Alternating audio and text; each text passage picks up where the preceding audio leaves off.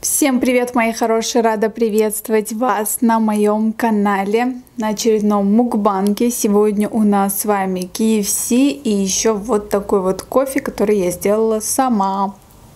Оно выглядит безумно аппетитно и очень-очень вкусно. И еще у меня просто в сете была кола Zero. И давайте приступим. Откроем соусы. Сегодня рано встала, погода пасмурная, так хочется быстро лето, так хочется, знаете, каких-то хороших новостей, не знаю, радости какой-то внезапной, какого-то сюрприза хочется. Хочется чувствовать эту весну. Но я ее нифига не чувствую, если честно. Я даже не знала, что я заказала два соуса. Я думала, я один заказала. Приятного аппетита вам и мне, если вы кушаете.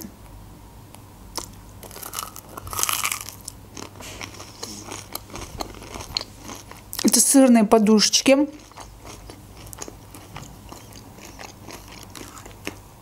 Я люблю все, что связано с сыром. Это очень вкусно.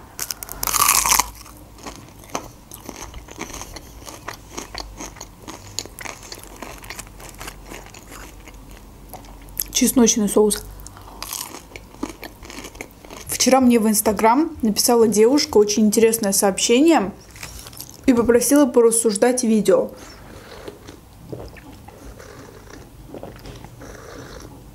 Вау, просто нечто.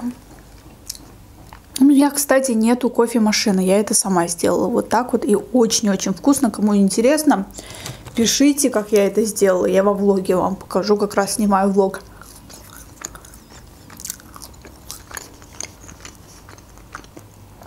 Здравствуйте, Айка! Очень люблю ваши видео. Хотелось бы, чтобы вы честно ответили на интересующий меня вопрос. Дело в том, что в связи с последними событиями я потеряла работу. Не знаю, чем заняться в такой ситуации и работы особо тоже нигде нету.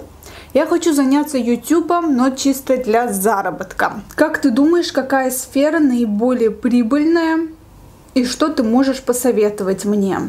Сказать честно, вот абсолютно искренне вам говорю, сейчас не самое лучшее время начинать что-то снимать на YouTube. Тем более девушка живет в России. Вдруг заблокируют YouTube, вдруг еще что-то. Одно дело, ты снимаешь контент чисто на энтузиазме, то есть тебе просто это нравится, ты думаешь, деньги это дополнительно какой-то бонус. Другое дело, ты создаешь канал, чисто для заработка. И это не значит, что это плохо.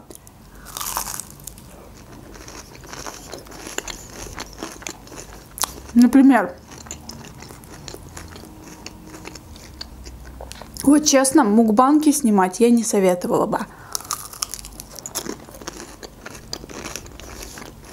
Не потому, что я боюсь конкуренции и так далее. Я могу аргументировать каждое свое слово. Например, у меня два канала. Даже три. Мой бумажный канал приносит столько же денег, сколько и мукбанки.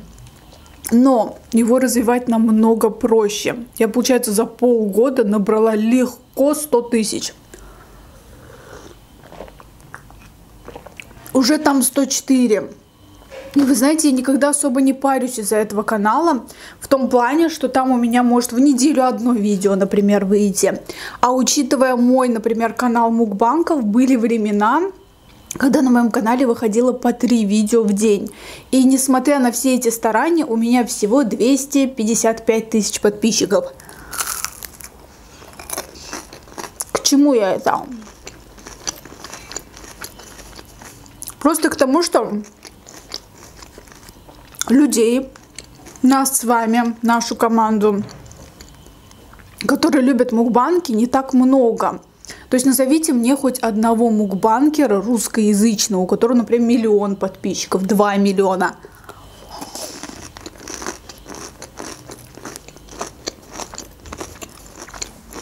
Улавливаете?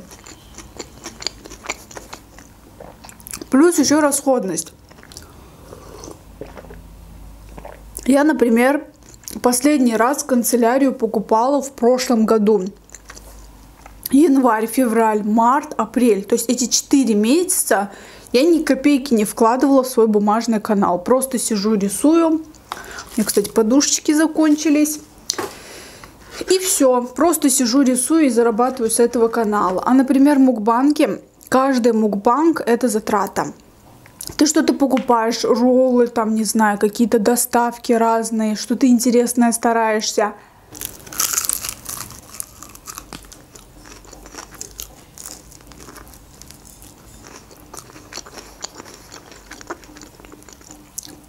Конечно, понятное дело, что и так, и так мы питаемся.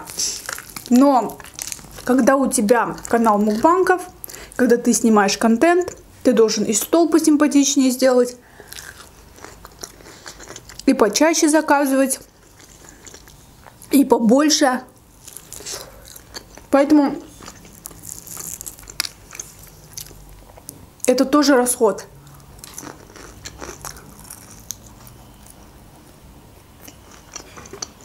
Я просто сравниваю два своих канала. Подростковая аудитория, она более лояльна, она подписывается, то есть очень добрая.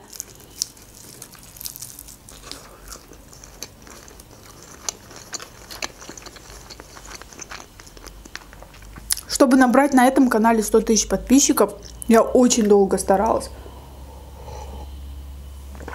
А на бумажном я почти не старалась.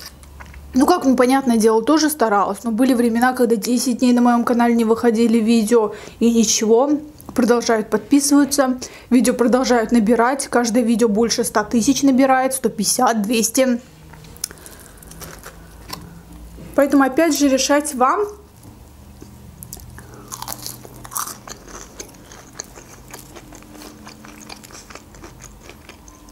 А вообще лучше знаете что?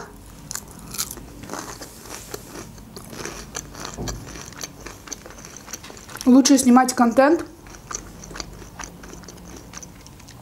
который могут смотреть со всей планеты. То есть контент, например, без слов. Вас будут смотреть и Швейцария, и Канада, и Америка. Это самые дорогие страны, которые платят в разы просто больше, чем платят, например, СНГ, та же Россия и так далее. То есть если с целью прям дохода там, да, рассматривать эту плоскость, то изначально нужно делать правильный выбор. То есть выбор в пользу английского языка. Если у вас есть такие знания. Если нету, начать учить. Потому что представьте, например, на обычном канале вы будете зарабатывать 1000 долларов, а на американском канале это будет 5-7 тысяч долларов. Разница есть? Конечно, есть.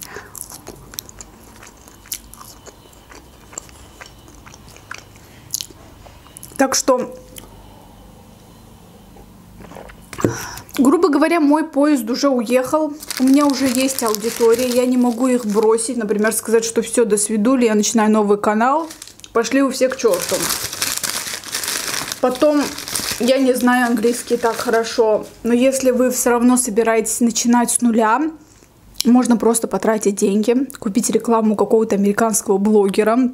Если вы знаете хорошо английский, начинайте сразу на английском.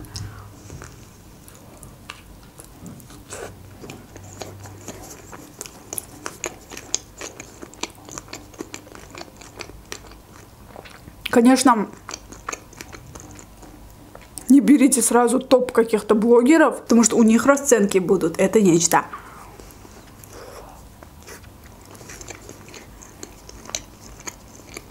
Но мне кажется, где-то тысячу долларов на рекламу отдать можно. Тем более это будет потом тебя кормить. Вот абсолютно искренне даю совет. Вот как бы я сделала.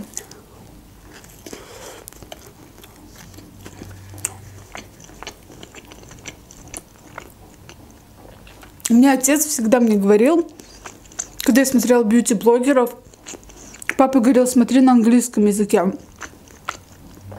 Учи язык, учи язык. Папа никогда не говорил там, не знаю, учи историю, не знаю, учи литературу, это тебе понадобится. Он мне всегда говорил, Айка, учи язык, он тебе понадобится. И вот сейчас я оборачиваюсь назад. Если бы я, например, где-то лет 15 назад начала смотреть YouTube только на английском языке, бьюти-блогеров посмотрела, знать язык это всегда хорошо, это всегда плюс.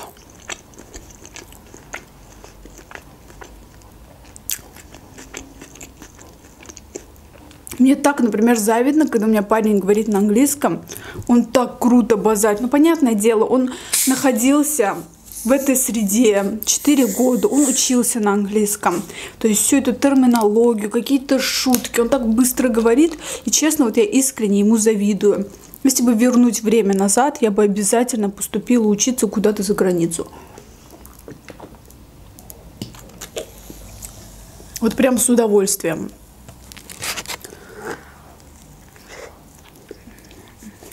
увидела бы мир, подрабатывала бы. Фиг знает. Вообще, если оборачиваться назад, я иногда думаю, блин, сколько ошибок я допустила.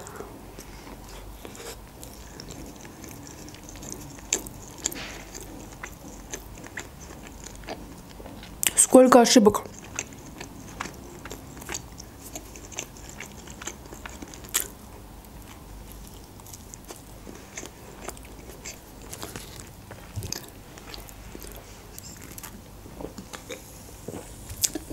Кстати, совсем забыла сказать. Это Твистер Джуниор. Крылышки. Что это за крыло такое? Картошечка фри. Жакет Шейна.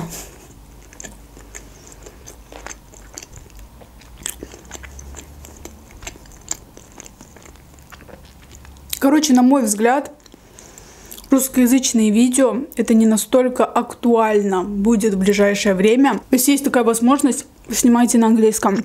Что я могу сказать? Вот все говорят, на англоязычном ютубе очень много конкуренции. Да, конкуренция есть, но учитывайте, сколько людей говорят на английском. Сколько людей смотрит этот контент. Если вы не владеете языком, ну посмотрите, в какой области вы сильны. Есть люди просто, которые снимают, как они режут мыло, и у них там по 200, по 300 тысяч просмотров. АСМР какой-то снимают. Интересный контент.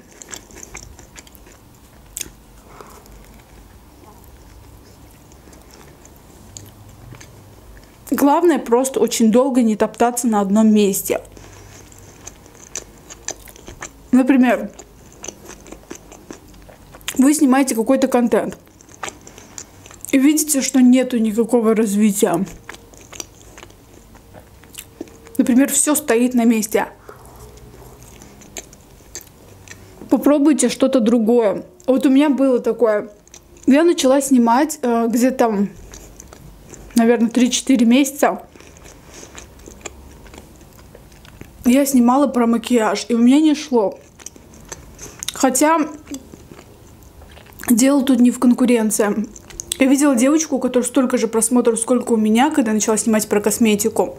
И потом я начала замечать, что ее видео набирают там по 10 тысяч, а у меня вот как набирали тысячу, так и набирают.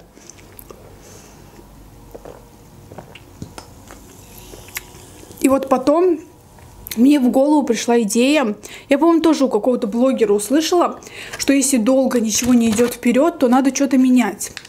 Я решила поменять формат и начать снимать мукбанки. И вы знаете, это было очень хорошее решение в моей жизни.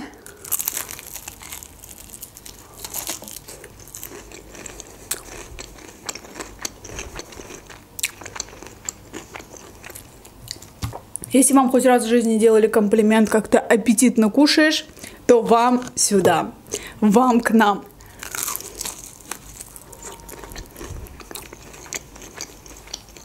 То есть, если бы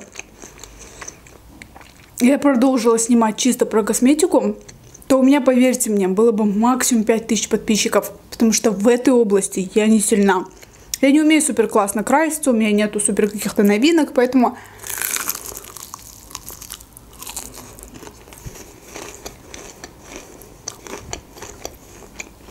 Поэтому гиблое дело. Такие острые. Это еще не острые. Крылышки у нас есть двух видов. Супер острые и просто острые.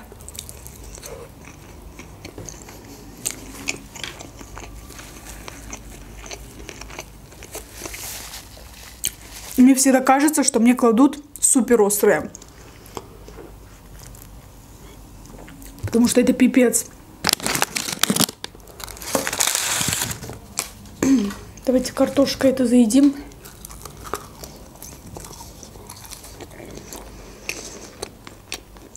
М -м -м.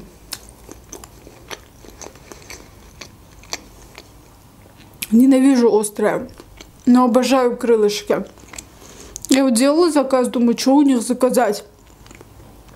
Бургеры мне у них вообще не нравятся, они какие-то сухие.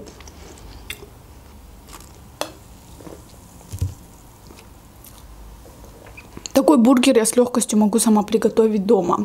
А вот в Макдональдсе не так. Макдональдс намного лучше. Я надеюсь, что мои советы как-то вам помогут, и вы всерьез задумаетесь о том, чтобы начать тоже что-то снимать. На этом все. Всех люблю, целую. С вами была Айка. Всем